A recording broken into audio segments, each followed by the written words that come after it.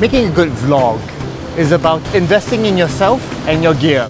One way to make a memorable travel vlog is to select a camera with a long battery life, a long zoom lens to cover a wide range of subjects, and is compact enough to pack up nicely. Sony's Handycam gives you hours of vlogging time and it has a powerful zoom lens with exceptional stabilization.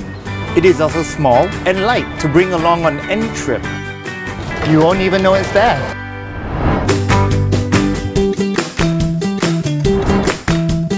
As a vlogger, it's important to be yourself. Sony's Handycam lets you focus on creating your vlogs without worrying about your gear.